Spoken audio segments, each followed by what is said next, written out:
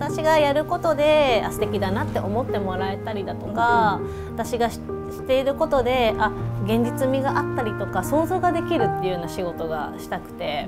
最近なんか相対的な幸せじゃなくて自分的な絶対的な幸せを追い求めようと思ってて結局自分が幸せになったら周りも幸せになるなと思っていかに自分が楽に生きるか気楽に生きるかみたいな。自分が楽だと周りへの優しでも優しさって想像力だと思うんですけどそういう余裕心の余裕みたいなのが生まれて結局周りも幸せになればその周りも幸せになるんじゃないですかっていうような気楽な感じで生きてます。